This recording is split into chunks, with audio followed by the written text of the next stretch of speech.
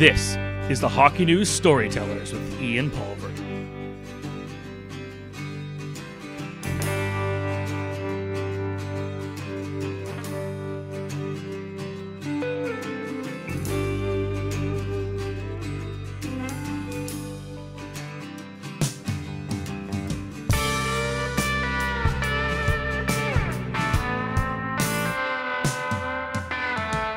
Welcome to the Hockey News Storytellers podcast. This week's guest is Tom Kurvers. Tom is currently the assistant general manager of the Minnesota Wild, a former Hobey Baker Trophy winner awarded to the best player in college hockey at the University of Minnesota Duluth. Tom went on to win a Stanley Cup in Montreal. He was a cerebral, skilled blue liner that played over 700 games in the NHL, including playoffs. Upon conclusion of his career, Kurvers transitioned back to his native Minnesota, where he earned his Master's of Business Administration at St. Thomas University and then embarked on a career in NHL management, spending 10 years in the desert with the Coyotes, 10 years in Tampa with the Lightning, three years now with the Minnesota Wild, 23 plus years, plus one year as a broadcaster with the Phoenix Coyotes. Tom Kurvers has spent the better part of the past 40 years in hockey. He has seen the transition of the game from the rough and tumble to the clutch and grab to the free flowing, wide open systems. The cerebral side of Tom Kurvers, the player, morphed into and evolved into Tom Kurvers, the cerebral, well thought out, respected, loyal hockey executive. In a recent conversation last week I had with Hall of Fame legend and current Detroit Red Wing general manager, I asked Steve Yzerman, who worked with Tom in Tampa, to define Tom Kurvers. Yzerman paid the usual compliments of being smart, loyal, dedicated uh, when he was speaking about Kurvers. But what caught my attention was one simple line. Yzerman simply said that Tom Kurvers is a great person, and that he is. I've known Tom for the past 30 years. In some respects, we've been doing our own podcast for the past three years, 30 years, covering any and all topics on the game, on family, on Bruce Springsteen, on stoicism, politics, and the game of life. On a very personal note, Tom, for the past two years, has been battling lung cancer. Like the way he approached his way of life, both personally and professionally, Tom Kurvers has battled cancer with dig- dignity, pride, respect, and optimism. As the great Stoic Marcus Aurelius says, the impediment to the action advances the action. What stands in the way becomes the way. Tom Kurvers has become motivated to stare cancer down, making the best of every day. Today, we are grateful to have Tom Kurvers join our podcast. Welcome to the podcast, Tom Kurvers. Thanks, Ian. That's uh, a flattering introduction. And uh, yeah, 40 years. Well, no, yeah. not quite 40 years in the game, and lots of conversations between you and I along the way lots of rental car conversations from point A to point B in the hockey world. No doubt, and your famous famous line of keeping it in the on the road. I remember kind of calling you when I first got into the agent business at, at 40 years old, and I phoned you. It was like 11:30 at night, driving home from Windsor, and we wrapped up the conversation. And you said, "Hey, Ian, because you've had miles in your car before me," said, "Hey, keep it on the road." You know, that's, that's always stuck with most important thing. Uh, there's a lot of guys out there uh, in black jackets, black pants that are in the corners of rinks at games and are putting in uh, two, three, four hours of drive time after games. All different kinds of guys too, agents, uh, scouts, executives, uh, and fans. I mean, it, it it's a life. It's a different life, and uh, we all kind of embraced it. Yeah, for sure. And before we get into the the your your career and your philosophies how's your health? How you feeling? Um, I know there's lots of people in the hockey world um, rooting for you, and um, um, we'll love to see you on the podcast. So, how are you feeling? Oh, I'm doing well. Uh, it's been a long uh, grind. A couple years now that I've been a cancer survivor, and the last six months have been a little rugged, but really the last six weeks have been much better. So you you take your blows and you you keep in touch with people, family, friends, and especially our hockey network have provided strength and love and care and attention, and it all matters. It all it all keeps you moving day to day, and um, uh, a great life challenge, and it has a lot of lessons built into it, and uh, we're doing really well. Great, good to hear. Good to hear. So why don't we start with that? And you know, I read, and we, I know, and I also read a little bit about your uh, Minnesota Coffee Club, and um, you know, it caught my attention that when you told me that you know a couple years back you decided to hatch that and and tell us a little bit about the Tom Kurvers' Minnesota Hockey uh, Coffee Club. Well, the initiation was uh, with Tampa. Uh, we had an amateur scout in the neighborhood. we lived about four blocks apart by chance, so we were we were meeting for coffee uh, here and there when our schedules allowed. Um, and then there's a number of other guys that worked for teams out of you know, not, that live in Minnesota and work for hockey teams and don't work for the hometown team. And so we're all kind of living this same strange existence where there's not really anybody around during the day, but we all gather at a certain rink at night. And we just started putting it on the calendar. Uh, there's about four regulars, and then there's about another maybe 10 more guys that would show up. We'd send out an email and just say, We're going at nine o'clock on, on, uh, usually it's Monday or Tuesdays of the week. Those are the down days for games in most leagues. And uh, we'd sit and sip our coffee and have our conversations, and we'd drive away sober instead of sitting at the bar after a game and nice. driving away in danger. And so we created some good friendships along the way and got to know some guys better that uh, you nod at. Maybe you nod at them in a hallway at a game, or you you uh, you just cross paths with these guys. But good group of people and oh, the guys that uh, are regulars, we really look forward to it. And so, you know, we've talked a lot over the years about the game, what it means, how it helps people. Um, you know, I know that your boys are golfers. You have two great young golfers. And first, tell us a little bit about what the game of hockey has meant for you. And then, you know, I know you have some great views on sport and golf and what it means for any but at sport in general but what what first let's start with hockey. What what what what do you love about the game? What has it taught you over you know when you were younger and now as you know the age we're at? Yeah the game's exciting and throwing on a pair of skates and moving your body faster than you could ever hope to run is a it's, it's i would i would liken that to a skier going down the hill i don't ski much but you have that feeling that you're a little bit there's a little freedom in that and then the game itself is a demanding game. It requires all kinds of athletic aptitude and it requires all kinds of mental strength to play really at any level past age 12. Uh, up until then, it's kind of fun and you bump into each other and fall down. It's cute. Right. And the hockey moms, you know, they wear their hockey mom buttons and everyone's safe and, and uh, it's a, it's a good team sport.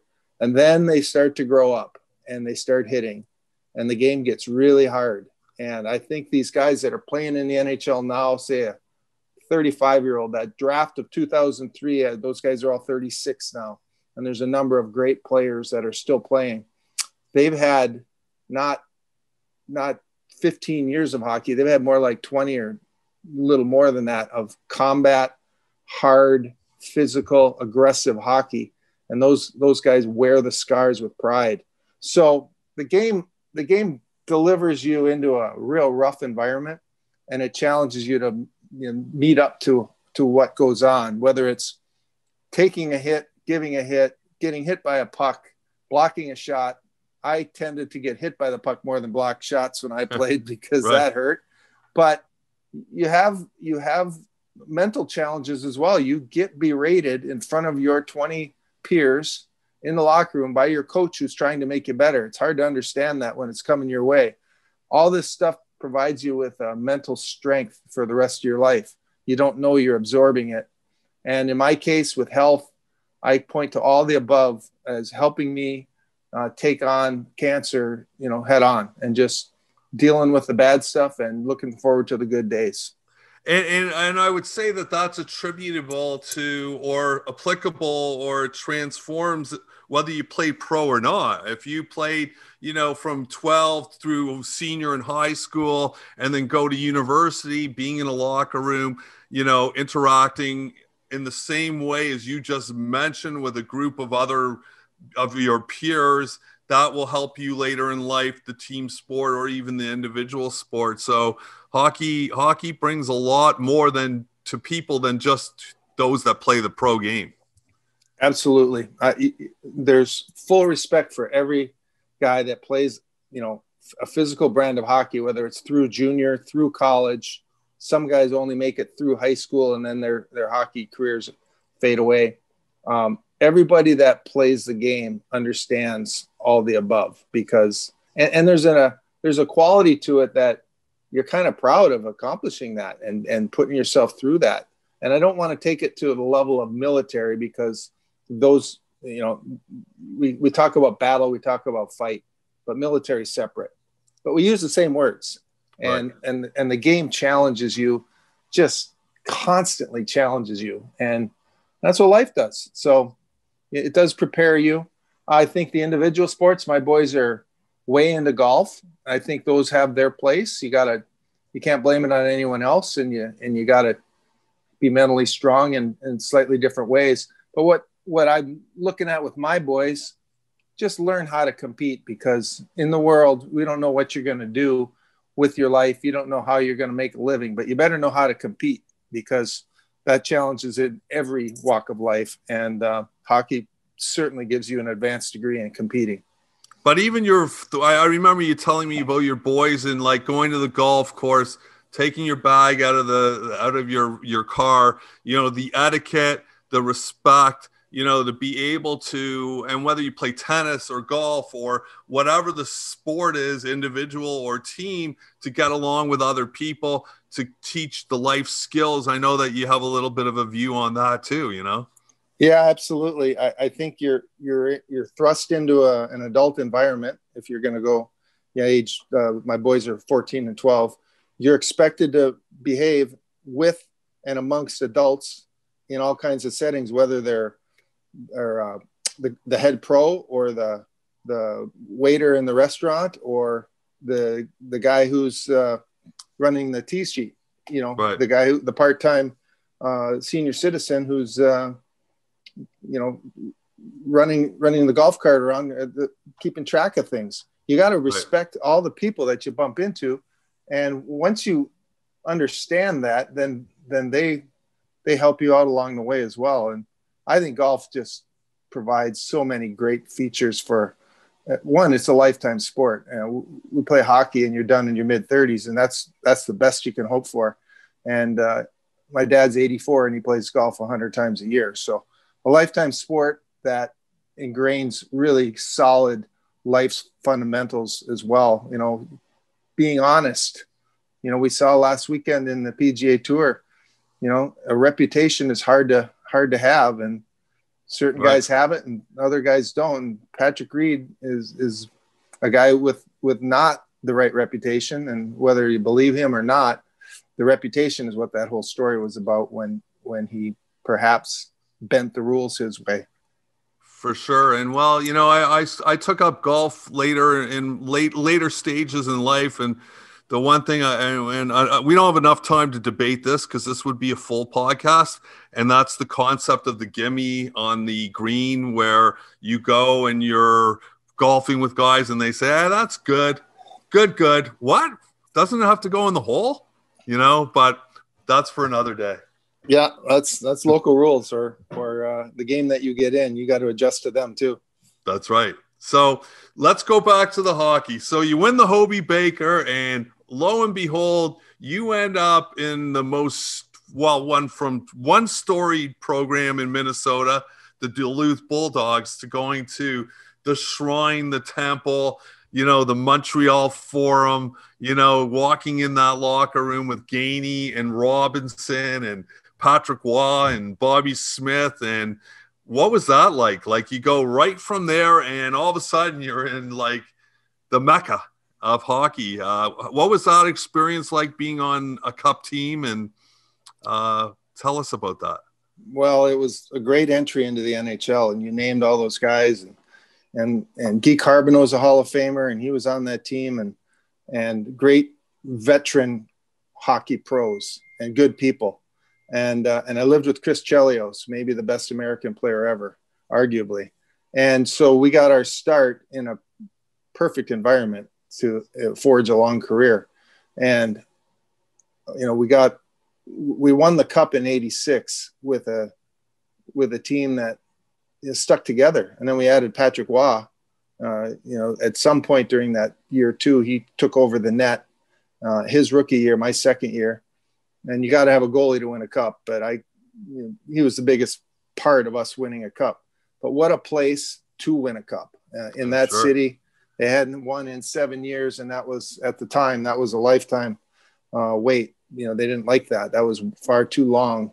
They hadn't, hadn't won since '79, and there we were uh, in a Stanley Cup parade at age 23, uh, sitting next to Chris Chelios in a, on on uh, St. Catherine Street, right. and and the city's alive, and and and I don't know if I can even describe that memory other than uh, was fortunate to be part of it because it was just one of those great days in, in your life. And, you know, start to, you know, the, the whole organization, um, the way they carry themselves, the way people dress for a Saturday night game or really any game in Montreal, the way that the game is held on high and, you know, it's been compared to religion. All that stuff's true. And the attention factor is off the charts and more so today than when we played.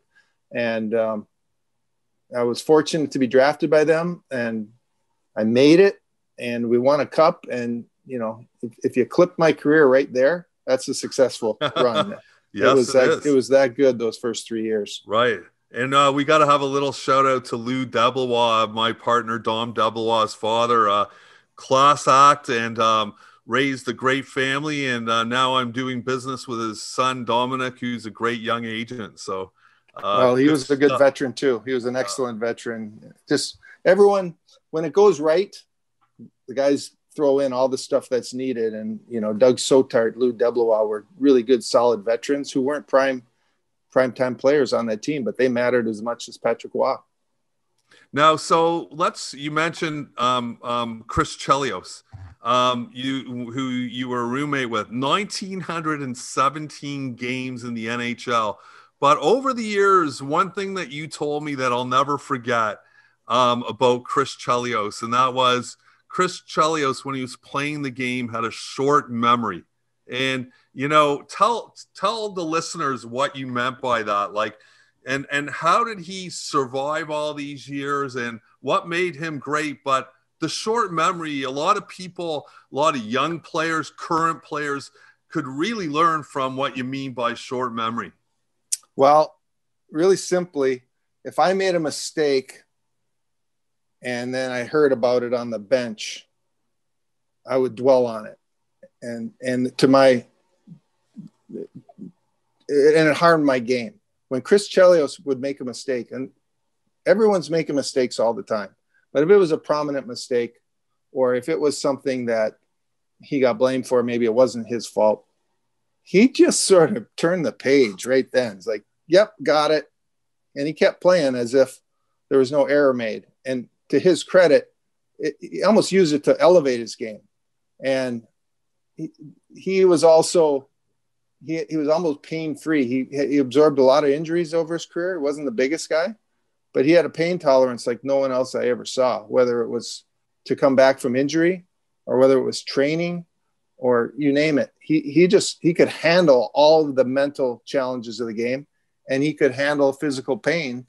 And the biggest thing that I noticed with him right away, and that I try to preach to our young players in our system, is you got to love the game. And I mean, he he loved. He was the first guy on the ice. He was out there shooting pucks, the last guy to leave, and he, you know, for a guy who was a fellow rookie, it was almost like I looked up to him in all those ways because we were we were there early. We we we did extra. We were in the gym. We were shooting pucks after practice. We even stole a stationary bike from the team. I don't know if anyone's ever found that out. but the bikes were getting uh, calibrated and they were sitting by the door and he had an SUV before SUVs were everywhere. And we stuffed one in the back of the SUV and we had it in our basement. And he said, We got to have a bike because I talked to Paul Coffey and he rides the bike all the time. So we're riding the bike more. Wow. So Chelios was committed to hockey and it paid him back in a big way. But he gave a lot. He gave a lot and he was a great teammate. He's one of the first names that comes to mind when I think about the best teammates I ever had.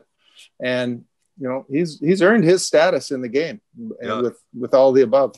Quite a guy. Quite a guy. Well, uh, you know, recently I heard on Spit and Chicklets, he told a story that you didn't just steal a stationary bike, but he claims, and I don't know if it's true, and maybe it was him, but he made reference that you guys were able to snap a couple jerseys out of the laundry room in the forum along the way, and they're probably in his basement, not yours, but you know, you know, the secret squirrel, Tom Kurvers. you never know. Well, we were college age, and uh, the, the jerseys were hanging there, and we had a we lived across the street from the rink. How about that? So we were in we were in the rink. It didn't matter when we came or went. We were we were there all the time, and we ended up with keys to the locker room. And I think a couple extra jerseys made their way to the apartment. And and uh, I remember very clearly the day that Guy Lafleur first retired from Montreal. Uh, everybody was in a room in the arena. I don't remember where the room was, but for the press conference, and we were coming off the ice, and there was a there was no one around. Everyone was hustling to get up to the press conference. And we hustled into the back room and got all his sticks and ran them over to our apartment. Oh, really? so I still have a Guy Lafleur stick and I wow. have it up in my, it's up in my office in St. Paul. Okay. And, uh, and so Guy Lafleur was the biggest star that I played with in the league. You think Cheli's selling them out of Cheli's Chili's back door at his restaurant in I, Detroit? Or? no, I think he would hold on. He'd probably play in the driveway with it, but I don't yeah, think maybe. he's selling them. So, um, um, yeah, that's that that's that's good humor. That's good humor. So let let's shift out of Montreal, and you know we just recently been talking about obstacles in the way, and so you leave Montreal, and then the realities of being a pro, Jersey, Toronto, Vancouver. You know, you start moving around. Um, you were always an outstanding offensive player, but what was the reality of playing back then in the NHL? Um, and and how did you learn from it during your career about having to be resilient and whatnot and forging ahead? Well, the game was so much different back then. We had, you know, we there's there was so much more intimidation, and and really each team had four, five, six, maybe even seven guys who could really fight. And if anything happened on the ice, there were fights going on way more often than today. And I think I had offensive skill, but I didn't have the the willingness to cross check every guy that came in front of the net because I didn't want to fight him or the next next guy who came out and decided they should I shouldn't be doing that. And you had to have some serious courage to stand in front of the net as a defenseman and lay the lumber on guys and then just take whatever came your way, whatever guy came off the bench the next time. And I never really got to that point. Chelios did. A lot of guys did. And a lot of guys faked it and did a good job of faking it. But the game was really hard back then. And then when you so you change teams, and I changed, I was traded six times, and you change teams and you you get in the locker room and you see a, a new teammate and you realize that he's skinny and that you could have handled him, but he came out ferocious like a like a lion uh, after something happened out there. And there's a lot of ways to be a little bit leery of guys, if not straight out scared of, you know, scared of the Wendell Clarks and the Bob Proberts that were out there lurking. Right. Um, but you had to be leery of so many guys. It, the game was different, but then I, I would I, I go back to when you get traded, you end up being buds with these guys that you were that you're dealing with all the time. And uh, that part of it was, you know, the best part of the ride is having so many acquaintances and having stayed in hockey, having so many of these acquaintances where you played with a guy for a few years or a few weeks, you, you, you go, you look back on it like you grew up together. And think about that. I mean, just on your Islander team alone, you know, you are an assistant general manager. You've been around for 20 five years in management, and you look around and uh, Tom Fitzgerald's a GM in in on in New Jersey, Coach Travis Green, you know, and Ray Ferraro is a extraordinary, you know, a color commentator extraordinaire with TSN, and like it, it, it it's you. What's a message for a current player? Who's playing and gets moved around or with the current team in terms of networking and being a good teammate, it all comes back to you, especially if you stay in the game. Well, I think you could ask every guy. We try to do this at the start of the season with my uh, my prominent job with Minnesota as GM of the Iowa Wild American League team, and I like to ask this question: Who's your best teammate and why? And run that question around the room at our first meeting and the guys come up with great answers and they're heartfelt and they're maybe their best friend was their best teammate or maybe a guy that uh, just made a huge impact on them. And then i simply ask them well take what that guy does and bring it to our group. Bring that bring that element into our room and we're going to have a successful year. I couldn't tell you what right. our record's going to be but we're going to have the elements that, that are needed for a team to succeed. And you, you, you just so yeah you want to talk to a player today?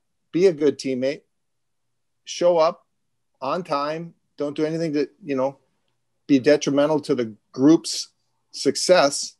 And, you know, 30 years later, you'll have earned a reputation. You'll, you'll have earned that handshake or a hug from a guy that you bump into in a rink or bump into randomly uh, as you, as you walk through the rest of your life. These, these years that you play, they're just so precious. They go by so fast um, enjoy it. Play like you love it. That's the Chris Chelios model. Play like you love the game because there's so, so many ways to get frustrated and so many ways to get down. Um, you got to keep fighting that off and show up with a smile on your face. So true. And, and the resiliency and understanding time and patience and just, you know, putting your time in and getting better every day and waiting for your opportunity, of course. And then when that opportunity comes, you got to be ready. Yeah. Um, yeah, that door opens, you got to go flying through it. You can't tiptoe in. Um, so you you play your career, and you know, do you ever harbor any um, thoughts about what would a Tom Kurvers New Jersey Devils? I think you were fifty or sixty points, ran to the conference finals.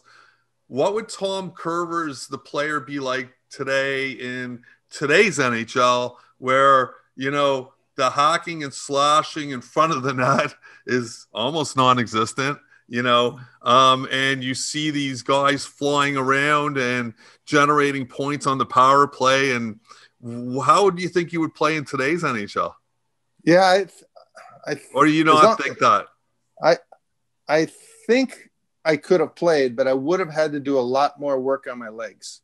They're, these guys are more powerful than i ever ever got to and the skating is such a priority factor now. It, it was it was always a factor, but it's it's more important now because there's so there's no way to stop anyone except your legs. There's no way to cheat and hook and grab and hold.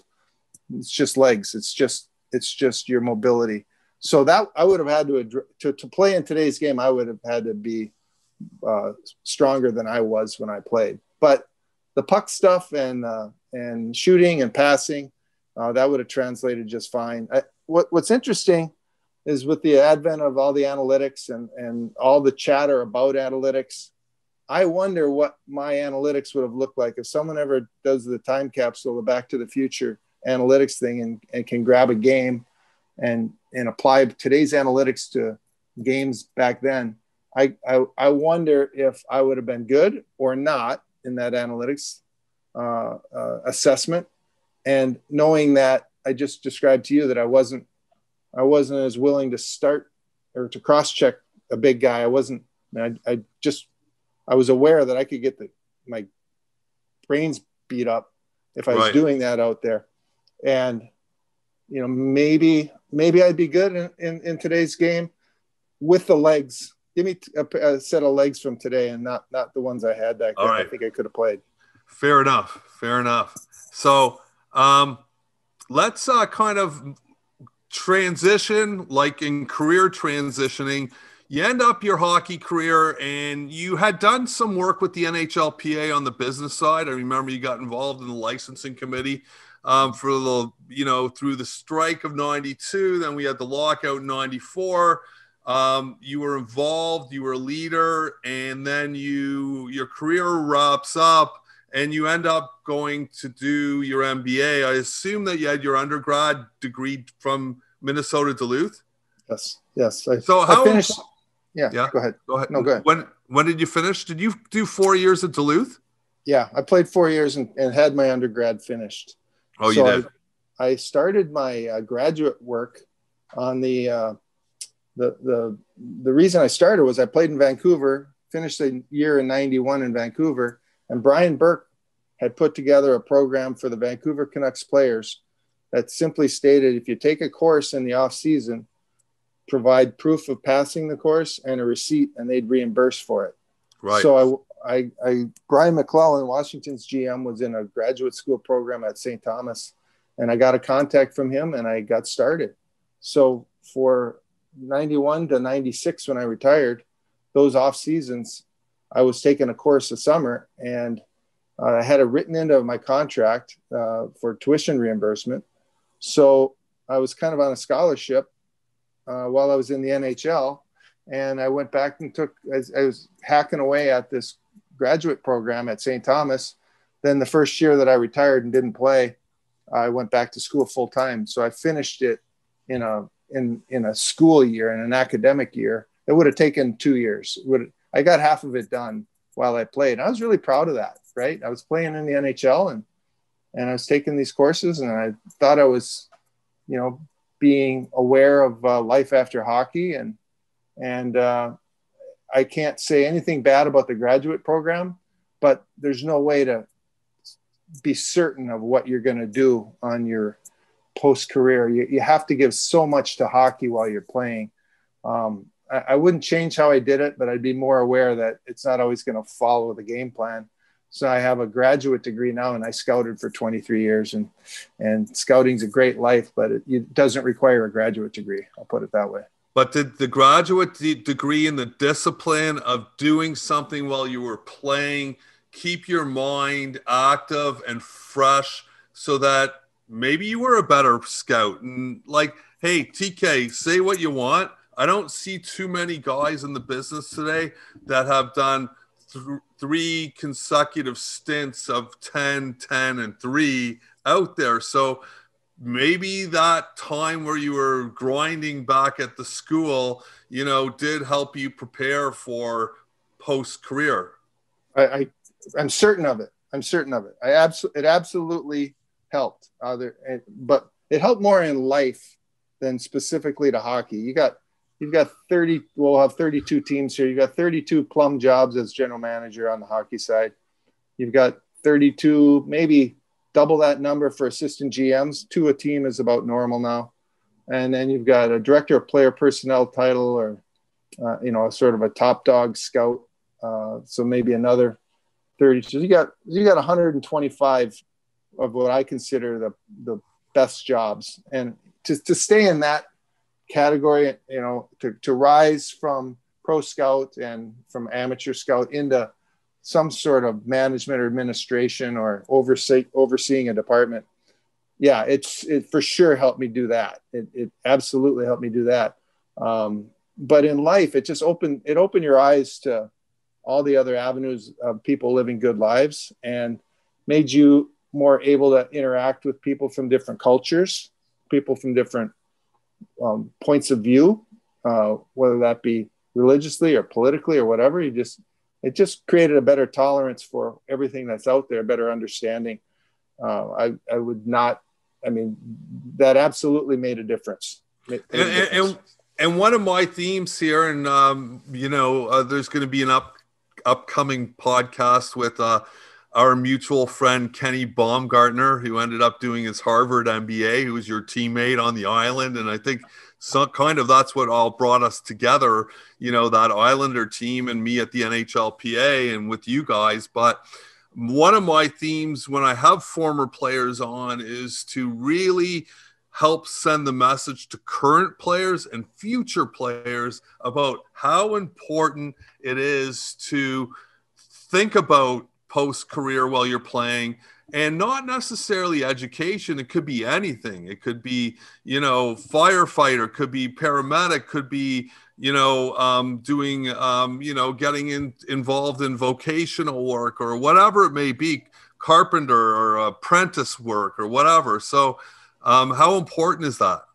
I think it's important. You you have the time and you have the off season you have the ability to find something that you're interested in but you got to be cautious because you know more so today than when I played. The game the game pays you back pretty well if you give everything you got to the game. Um, you're you know, and you're a good player. Uh, there's no sense in uh, missing out on training sessions to make sure that you you know get educated on something else. If you're in the midst of your career, I'd recommend you know be aware, you know, dabble in it, but these off seasons, these guys work so hard. They work right. so. Uh, the training is just incredible. It's it's impressive to watch, and there's all different methods. All the methodologies that I've seen require extraordinary amount of work and pain, and that's really where your bread's buttered. So don't, not in lieu of taking care of your your career as a player, but to be a to be aware is a good thing as our as our former uh, comrade Bob Goodnow used to say, hockey pays the bills. Mm-hmm. So you're mm-hmm. absolutely right, and maybe that the saying it how you just said it is is is what's to be emphasized going forward. You not in in not in lieu of is is the best way to put it. Uh, well well said. So you in your management career got to work with, among others. Uh, uh, Bobby Smith, Chuck Fle- uh, uh, Cliff Fletcher, um, Chuck's father, um, Brian Lawton, um, and uh, Steve Yzerman. Uh, maybe quickly, kind of, what were the lessons learned along the way? We don't have that much time, but maybe a, a sound bite on each of those guys or what you picked up, um, you know, along the way. Well, I watched. Uh, I, I, worked with Wayne Gretzky in Phoenix for a number of years, right. and and Steve Yzerman in Tampa for eight years. And, you know, their, their level of respect in the game are, you know, they're, it's different than everybody else. And I watched how they handle themselves personally. And I, I, it was time well spent to be around that caliber of former player, that caliber of Hall of Famer. The, the key thing with both those men were just they're good people. They're good. They'd be good neighbors if they never played hockey. They were they're right. brought up in, in, a good household, and they were they were they're polite and they're and they're they're just they're good to the elevator watchmen. They're they're good to people, and you notice that. And then they have their ways of they have to protect their whole being. They're especially uh, you know Wayne had has to protect himself from the crowd almost anywhere anytime he goes in public. And I watched that go on and I watched it again with Steve and they just do a great job of of making a random fan feel like they got their minute of attention and then and then cutting it off so that they can carry on with what they want to do. Um, it was fun to i mean i don't have to i didn't need to learn that because i can't apply it but those it was more right. like a social documentary watching those guys operate right. how they what they are required to do to sort of protect themselves different and, level yes much different level the the guys that that i work for I, you know one one good story i'd share with you is i worked for don maloney for one year in in phoenix well don and i uh, you're very aware of this uh, with an arbitration case when right. he was a first year general manager with the Islanders, and I was a player, and I was yep. fighting fighting the system, and and um, went to arbitration. I held a grudge. I held a grudge for a long time, and you know that's normal in hockey. You hold grudges. You're, it's a confrontational game. It's a challenging, competitive game. And when so when he showed up in Phoenix, I was not real pleased to be working for this guy. He came in and took over as general manager. But in the course of that year, uh, we found common ground and I let go of my my grudge, and I don't even think he was aware of it because he, he was right. He was a new a new GM, and he was yep. probably like all GMs when they start, they're drinking from the fire hose. I don't think he even knew that that would ever been on my mind. But I consider Don a friend now, and for right. for a lot of years there, I didn't want to bump into him. I didn't want to say hello to this guy. Um, and that's a lesson in life, not necessarily pointed to education or how you play the game. It's forgiveness matters, and and it's it's not a native thing to a hockey player to forgive. You you, you remember. You don't for, right. you don't forgive right. and forget. And so, as as I learned that, um, that helps your life. It just it's a tool for your life to be better if you can figure out how to forgive for whatever reason, whatever whatever gets your goat. Forgive and move on, and you'll be free. Just hockey's a microcosm of life, and you come across all these great, you know, you're competitive, competitive, and then you know you move on and you realize two good guys just doing the best they can, and you know you can't hold that grudge. And I've I I lived it when I was in my union days, and now as an agent, you come across guys you battled with, and everybody's just trying to do the best they can so long as they're telling the truth and not trying to backstab you. So yeah. um, you know good stuff. And and what about quickly like your experience with the passionate brian lawton and his zest for life? Like unparalleled or unmatched?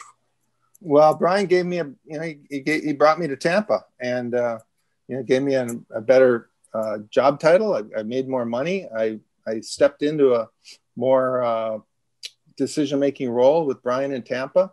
Um, unfortunately, everything went a little sideways down there with you know starting with ownership, but Brian's been a friend for a long time. We've been through some life situations and helped each other out. And uh, to today, he checks in regularly, and uh, he's been a good friend uh, in the last couple years when I've been dealing with my life's challenges. And so, right.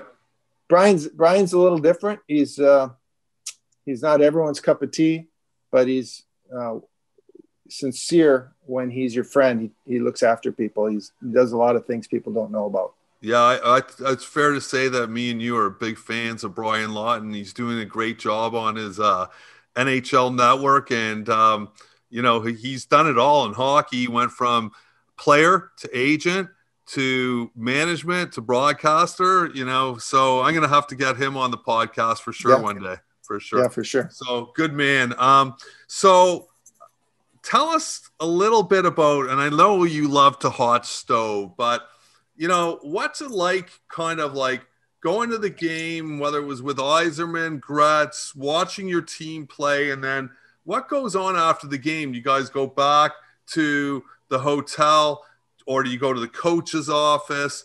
Do you review and review and review about what went on or how do things go? And like what's the best part of like being part of management? And is it the hot stoving? Is it the strategy? What is it?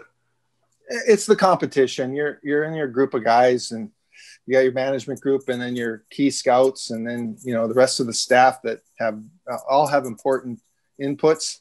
And you're trying to put it together to try to compete to try to win the holy grail to try to win the cup. And so if I just go, I'll just use the Tampa example. For two years, you know, the ownership was in flux and wasn't much franchise stability.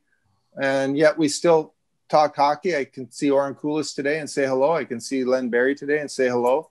Uh, they weren't they weren't trying to make it go upside down. We just did, and there wasn't enough money available to run the team, and crazy decisions were made along the way. But you know, you bond together, and instinctively, especially if you played the game, you know, you might have played with or against a guy and you kind of know what they're about from time on the ice, but you, you pull together, everyone pulls together. And I think different from the agent side where you're, you're kind of lone wolfing it and you're, oh yeah, you're, you're assessing your, your player's performance, whether it's a 10 to one win or 10 to one loss, you got to have an assessment there and you're trying to help that guy navigate his career. When you're when you're with the team, it's pretty simple. Are, are, you good enough to make the playoffs? Are you good enough to chase the cup? And it took us a plenty long time in Tampa with Yzerman in charge. He doesn't do anything in a hurry and try to speed up the process. I believe he's doing that in Detroit right now. He's not going to rush it and mess it up. He's going to be patient and do it right. And their time is going to come ahead. But yeah, you, you're just chewing on it all the time. But he's also the same age and he has three daughters, and I have one daughter in the same age bracket. And you talk about life too. You talk right. about uh, tuition. You talk about right. all the things that you know really make your personal life go around. And it, the best thing about it is it wasn't very difficult to get to a, a, point of comfort hanging around with the boss. And I'm not sure that that's the same everywhere. With Steve Yzerman, it was pretty easy to be comfortable around Steve. He made it. He made it that way. And, and I'm uh, sure. I'm sure it's similar like that with Billy Guerin, who's um, you know a man's man who can you know really light up a room or with his humor or his kind of good charm, humor, bravado um, you just make he makes you want to be around him. He's good to people. Yeah, he's he, he, he is just right. good to people. He, right. He's a good person. Right. Yep. So, um, what's the key? Um, whether it's in for you in management, sustainability, and longevity, and fitting in and adopting to different management groups. What would you say for you? was the key for longevity and success in what you do because you know you see management groups come in have great success um, and then five years later they're fired and um, then they're out of the game you don't see them anymore what, what, what, what, what was your secret sauce in addition to what Yzerman said being a great person right because you know that's a given to some degree but you have to have other skill and characteristics and know how to read the room, I would imagine. But you tell me. I think the first thing is know when to shut up. You're not, I mean, I haven't been in charge. So I've been in charge of pro scouting, I've been in charge of amateur scouting. I'm screen. in charge of, I've been in charge. Mine? Yeah, your screen up, Oh, better. Oh, yeah, Perfect. I've been in char- I've been in charge of uh, the Iowa Wild farm team, but know when to keep your mouth shut because there's a lot of things that are said and they might come out at the wrong time and and you can cause harm to yourself. So know when to keep your mouth shut. And then real simple one is learn to say yes. If someone asks you about uh, can you do this, you know, uh, uh, put you to a task, the answer is yes. If you don't know how to do it, go find out how to do it. right you know but say yes yeah i can handle that and and that person who's in the authority position will be appreciative of that even if it doesn't ring a bell the first time before long you'll have more on your plate and you'll be closer to the decision making capacity but uh, i learned that one from my brother-in-law who was an executive uh, and he just said no know that saying yes is a good thing. Right. Nice. Okay, so um, one last question, and then we're going to kind of move into the last segment, which is a kind of fun little banter. But for future, for future um, aspiring people who aren't hockey players who want to get into management, right? And maybe a Julien BriseBois who never played the game but figured out his way. Any tips? any advice that you can give um, to that young, you know, student in Minnesota, maybe played Minnesota ho- high school hockey, knows he ain't going to be a pro, going on to university or whatever. Any tips to give? Uh, you got to be persistent without without crossing the line and being a pain in the butt. But you, if you have a contact and and there's something that could be available, that's when you got to be mind your p's and q's and make sure you're available and make sure that uh, you check in with whoever that is where you think there's an opportunity and then once you get a chance once that door is open and you get in now you got to work as hard as you've ever worked because there's so many that want in and you got to prove your worth so if you're worried about your salary if you're worried about the hours uh, then go find a nine to five job. There's there's lots of good ways to make a life uh, nine to five, but if you really want to get into this life, and you it's a life, it's not a job, it's a life. You're going to give up nights, you're going to give up weekends, you're going to give up many things that your peers are enjoying, and uh, there's not necessarily going to be a big payday either, uh, unless you, you know, make it all the way to the top. Doug Armstrong's a good example. You know, he made it, Right.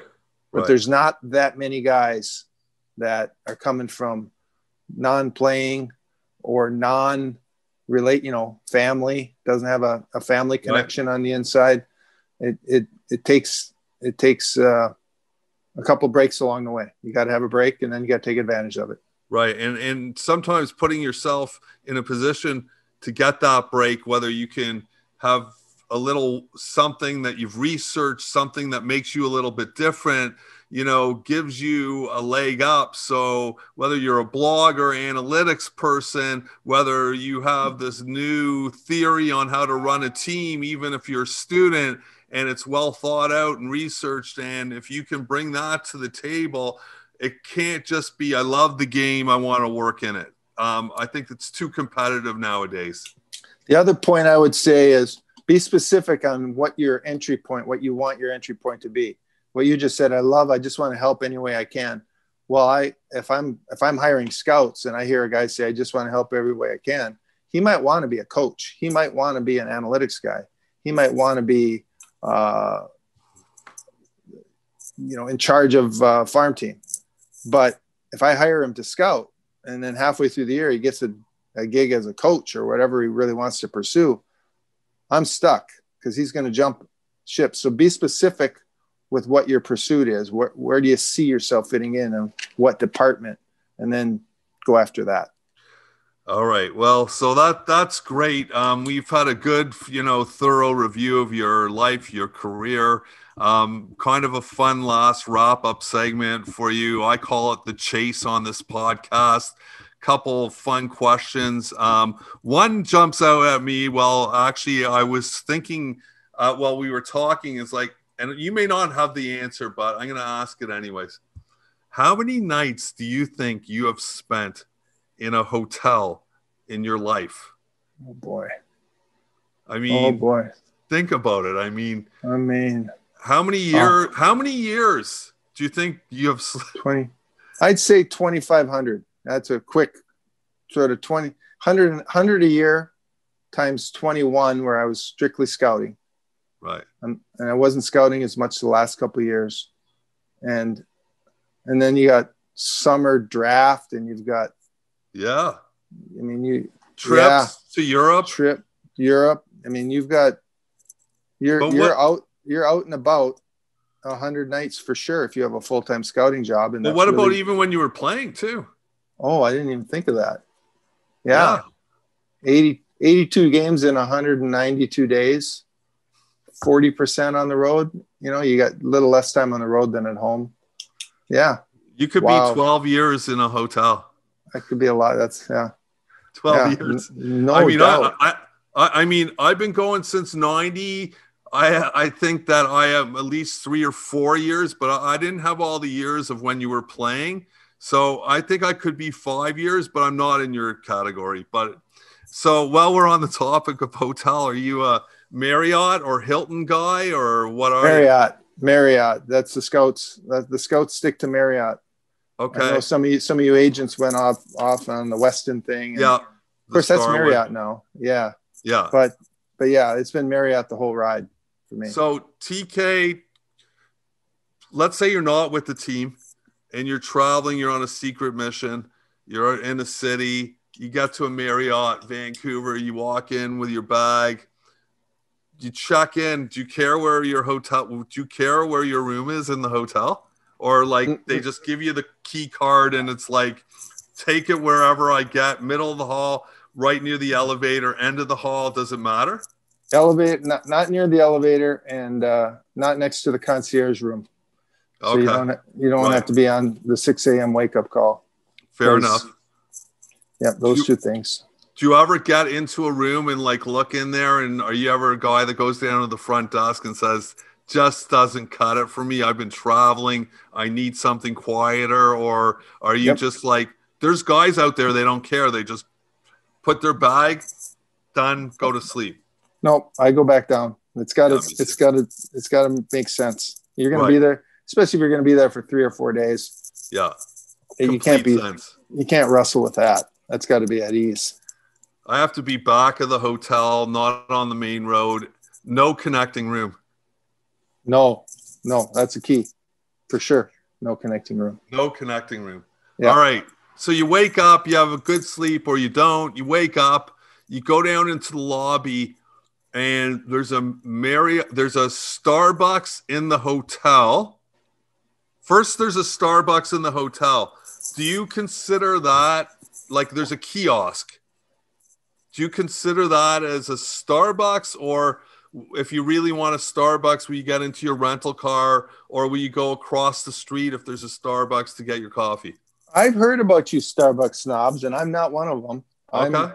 I, I'm, I will steer it to Tim Hortons in Canada, Okay. um, and I'll I I will walk. You know, I, am not necessarily. You know, if you have to drive, I'll I'll go to Tim Hortons to get the coffee. Um, for the most part, uh, I don't recognize the difference. You know, if I have to have a if I want a coffee and it's only Starbucks kiosk, I don't care. Okay. That- so you don't that care. Doesn't, that doesn't Just- hit me hard. No. You just pump the canister, get your coffee, and go. Yep. Okay. Yep. What about like if you're on the road, will you pull into one of those sheets, skull uh, gas stations or um, a s- a 7-Eleven and pump a coffee, or it doesn't matter, or if you need one, or will you chase after like a Caribou coffee in Minnesota, or will you go for a chase off the road for something, or do you just like you want to get home so you'll be efficient? Yeah, I try not to eat at gas stations. That seems like a No, not eat. I'm talking beverage. just just coffee. Um, I I would say that yes, I prefer to get a coffee from a coffee shop, okay. but I'm not. I'm only like Tim Hortons, or if I have Caribou versus Starbucks, I go Caribou. I mean, I have. I never really thought about it, but I don't go out of my way. I, I wouldn't say I go out of my way for coffee on the run. I usually uh, we have holiday gas stations here. I'll drink holiday gas station coffee. Okay. Okay. That's last couple of questions. Is there is there any particular burger, pizza, diet if you're not following a diet out there on the circuit of NHL teams or even AHL teams where or a diner out there that you would say you got to go to if you're in a city is there anything like is that jump out at you or you're pretty easy going in that category I'm pretty easygoing in that. I Yeah. I I like. I mean, basically, you live on two meals a day, and the first one's in the concierge room at the hotel. right So now you, now you're down to one meal, and you gotta, you know, if you're in the NHL, if you're on the NHL circuit, you can get a decent salad and a plate of food in the in the press room. there you go So you are you are just you're running it so you don't burn time. I don't like sitting in a restaurant by myself. So you go to the you go to the press room. You're with some media guys or you're with some other scouts, and that's your social that's your social connection too. You've been sitting alone all day, whether you're traveling that day or you're in the stayed in the same city. You're pretty much not having conversations all day long until you get to the game. So you need a little of that social awakening each day too.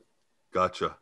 Gotcha. Well, Tom, listen, uh, thanks for taking the time to do this today. Um, it's something we've been doing for, um, you know, 30 plus years, but to do it this way is special for me and uh, hope for you. And um, it's great. Absolutely. So you next time you're in Mini, you're invited to coffee club. We'll we'll wrap it around Will Sports Group. Bring you. Can't wait. I mean, as soon as they let that open up the borders again. That's right. Yeah, That's right. so- Let's get past that. Okay, All right, pal. TK. Thanks a lot. My pleasure.